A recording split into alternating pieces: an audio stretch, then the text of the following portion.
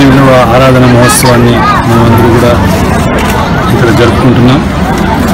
దేశ విదేశాల నుంచి వచ్చినటువంటి అనేక మంది భక్తులు ఈరోజు పుట్టపర్తి చేరుకున్నారు. బాబా వారు తమ దేహాన్ని త్యాగం చేసి ఎనిమిది సంవత్సరాలైంది. ఏప్రిల్ ఇరవై నాలుగో తారీఖు రెండు వేల పదకొండులో వారి దేహత్యాగం చేయడం జరిగింది. ఈ దినాన్ని ప్రతి సాయి భక్తులు చాలా ప్రత్యేకంగా పరిగణిస్తారు.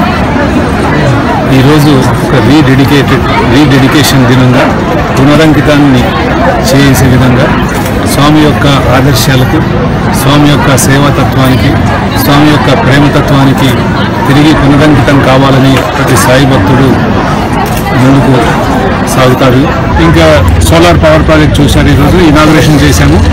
ఆ సో సోలార్ పవర్ ప్రాజెక్ట్ ఏంటంటే ఫేజ్ టూ చేస్తున్నాము. ఫేజ్ వన్లో టూ పాయింట్ టూ మెగావాట్స్ చేశాము.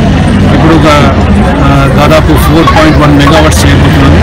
టోటల్గా దీన్ని సిక్స్ పాయింట్ ఫైవ్ మెగావాట్స్ వరకు తీసుకెళ్ళి మనము ఆశ్రమానికి కానీ హాస్పిటల్స్ కానీ విద్యా సంస్థలకు కానీ కావాల్సినటువంటి